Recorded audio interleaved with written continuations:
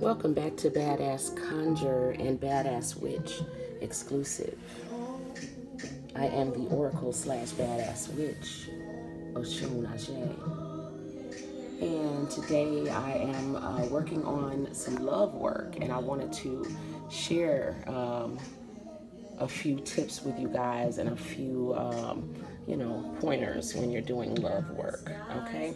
So I'm starting with my couple. You do want to name and inscribe your couple. You want to dress them with oils as you infuse them with uh, love energy. You can do sex magic on the candles. Uh, you can do energy work on the candles to infuse them with energy.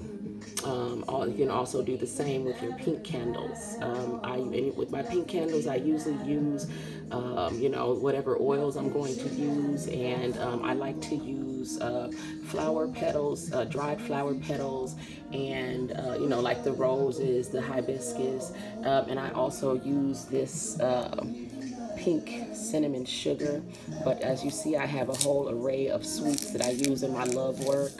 Um, and so, but today I'm going to be using the pink, okay? Um, so the, let's go back to the front. Um, and I haven't added everything to the table yet, you guys, but um, I have the pink, um, the, the rose quartz, okay, um, and sort of a grid leading up to the heart that the couples are standing on. Uh, the petition and flowers are inside of the heart that the couple is standing on, and all of this has been powered up.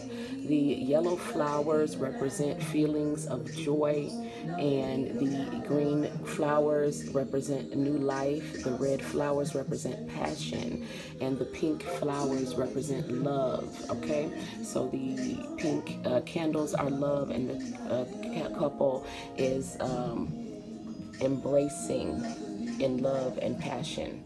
Okay, I'm going to be using um, Art of the Roots Reconciliation Oil.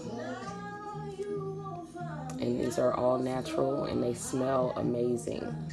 I'm also going to be using their Seduction and Passion Oil that also smells amazing, okay?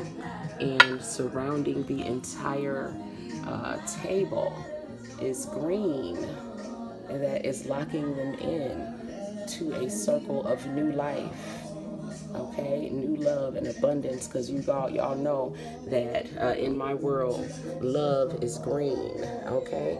This is the rose quartz that uh, sits on my my, uh, uh my altar for mama oshun so it is um, very charged with the love energy as well as everything else involved in the working.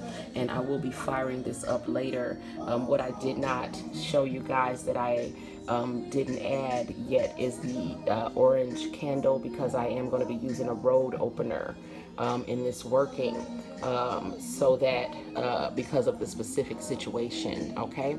So until we meet again my people keep it classy keep it clean and do what you got to do make shit happen